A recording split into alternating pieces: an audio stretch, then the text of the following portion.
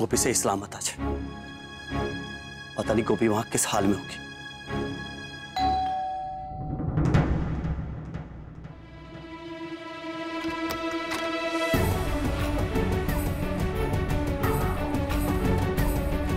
गोपी? गोपी? और आप, मॉम, विद्या, आप लोग? गोपी तुम रो क्यों रही हो? मीरा कहाँ है? मैं मीरा को वापस नहीं ला पाई। मतलब? वो उसे लेकर भाग गई। भाग्य तुमने उन्हें पैसे तो दिए थे ना? हाँ पापा।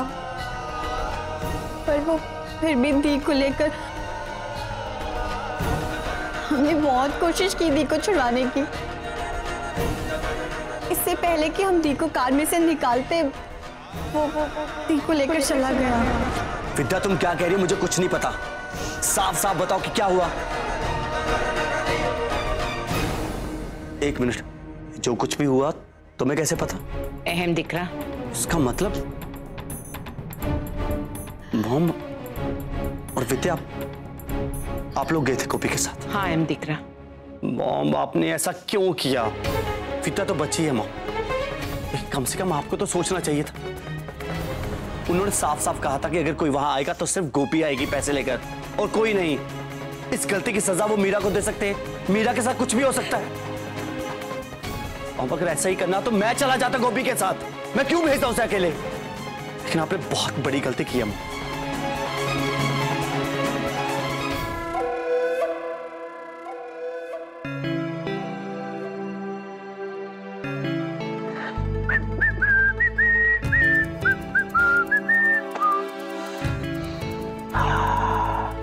ये फ्रेश फ्रेश बैंक से निकाली गई ये कड़क कड़क नोट की खुशबू।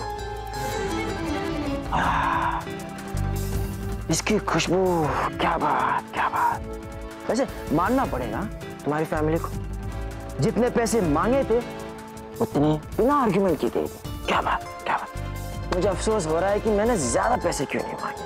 क्या है ना कि ज़्यादा पैसे तो बनते तुम्हारी सिस्टर और तुम्हारी दादी जो वहाँ पहुँच गए थे और मुझे जख्मी कर दिया। अगर मुझे पैसे नहीं मिले ना मैं तुम्हारी बहन को मेरी बहन को छूना भी मत। उसको क्यों बेवजह घसीट रहे हो? ठीक है। तुम्हारी सिस्टर को मैं इस मैटर से दूर करता हूँ। लेकिन उसके लिए मुझे तुम्हें यहाँ से के दूर ले जाना पड़ेगा। एंड फॉर दैट मुझे तुम्हारे पासपोर्ट की ज़रूरत पड़ेगी। पासपोर्ट। ठीक है अब बाद में बात करता हूँ।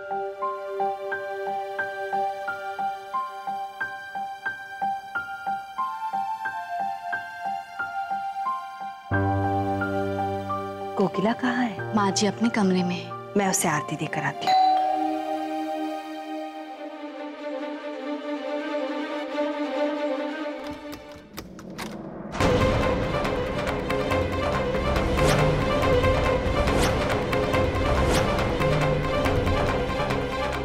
यहाँ क्या कर रहे हो?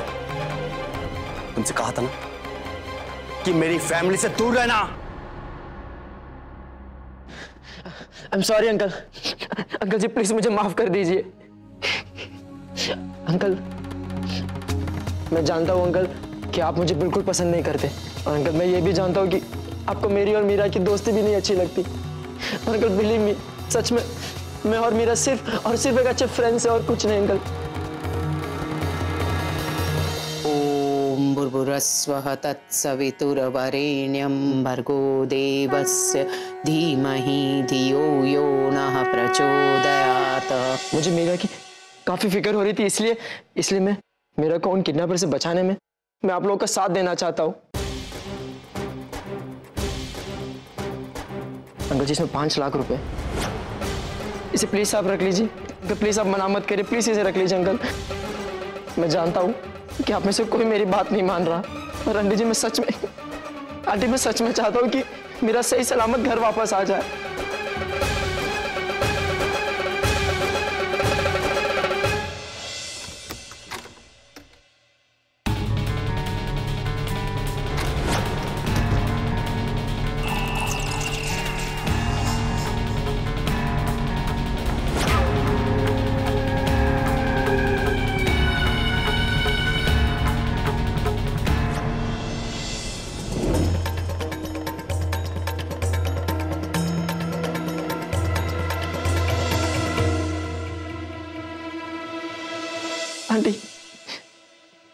आप तो मुझे माफ़ कर दीजिए। प्लीज़ अंकल को समझाइए ना।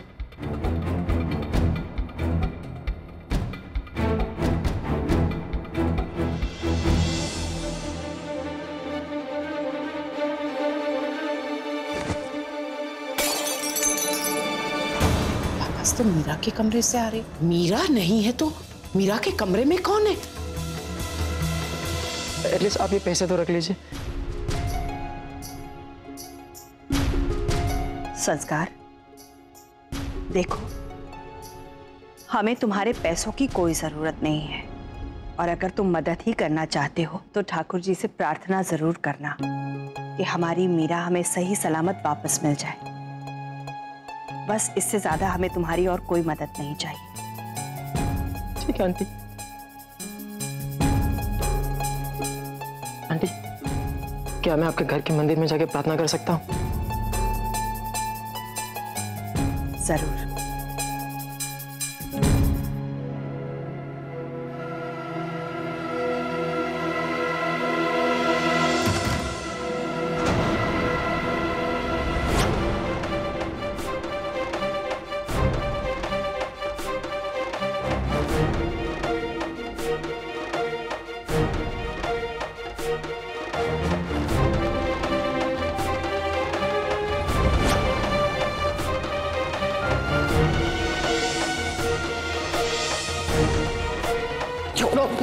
चेहरा देखना है। तुम मीरा के कमरे में क्या कर रहे हो? छोड़ो।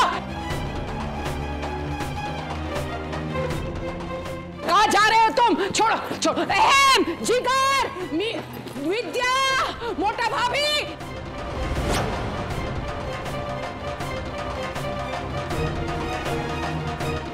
संस्कार? संस्कार, तुम ये ये चोट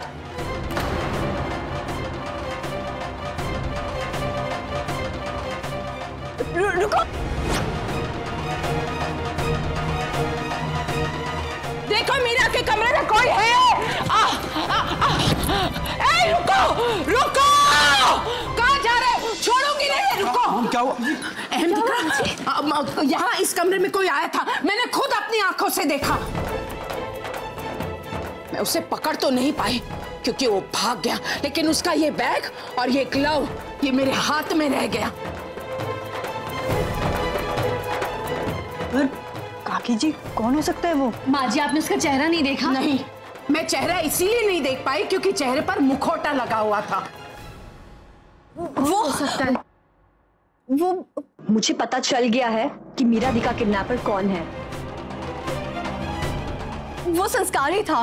लेकिन तुम इतने यकीन से कैसे कह सकती हो? क्योंकि संस्कार के पैर पे भी वही चोट का निशान है जो आज सुबह हम जब दी को छुड़वाने गए थे तो मेरे हाथों लगा था।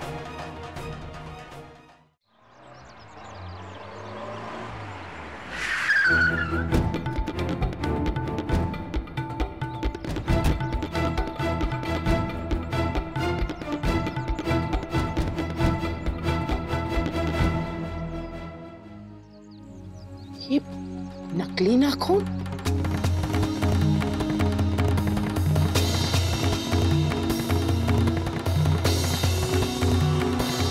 कौन हो सकता है जो यहाँ से भागा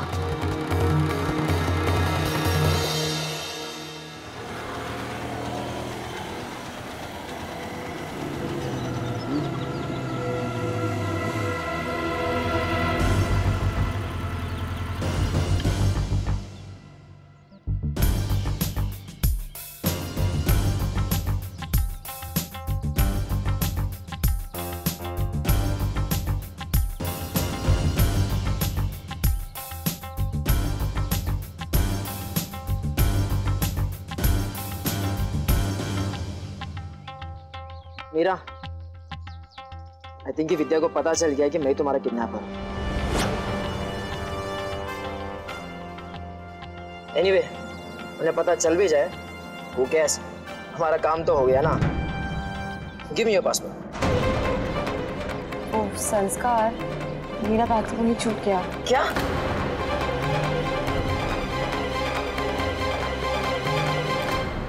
जिगर तू तोलू मोलू के साथ लेके जा।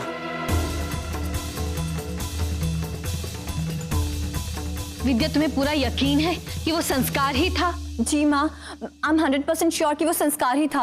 और मैंने अभी अभी जैसे संस्कार के पैर में चोट देखी, मुझे अच्छे से याद है, ठीक उसी तरह का घाव उस किडनैपर के पैर में भी हुआ था।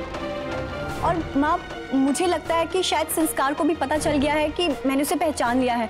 वरना उसे ऐसे भागने की क्या ज़रूरत थी? आप खुद ही सोचिए, वो अपने शूज़ तक पहनने के लिए नहीं रुका। अगर वो सच में हमारी हेल्प करने आया था तो जब दादी ने आवाज़ लगाई तो उसे भी तो हमारे साथ ऊपर आना चाहिए था।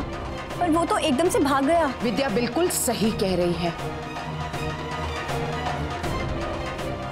गोपी वाओ मैं पूरे विश्वास के साथ ये कह रही हूँ कि मीरा का अपहरण अकेले संस्कार ने नहीं किया है।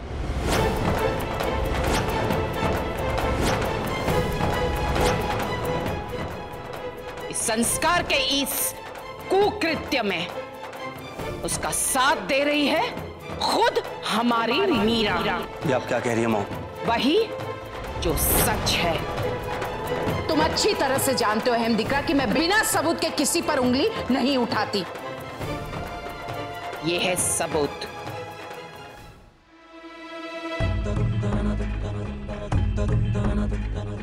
तो मीरा का पासपोर्ट है। हाँ और ये पासपोर्ट मुझे इसी बैग में मिला जो बैग मीरा भागते हुए ले जाना चाहती थी। मॉम ऐसा भी तो हो सकता कि कि उसका पासपोर्ट को चुराने आया हो। पहले मुझे भी ऐसा ही लगा था अहम दिकरा लेकिन जब इस ग्लव से मुझे ये नाखून मिला तो मेरा शक यकीन में बदल गया।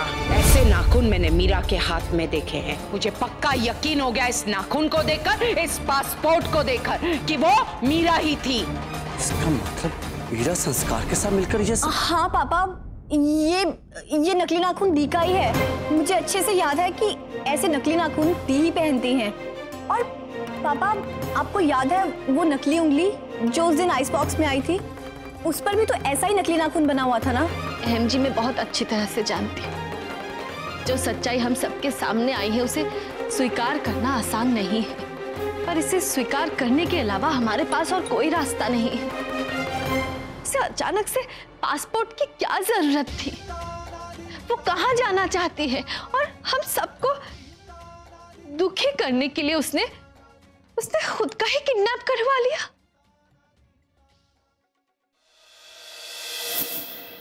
साथ निभाना साथिया। आपके मनोरंजन पर अब नहीं लगेगा कोई ब्रेक स्टार प्लस के बेहतरीन शोज़ देखने के लिए लाइक, शेयर और सब्सक्राइब करें स्टार प्लस यूट्यूब पेज को।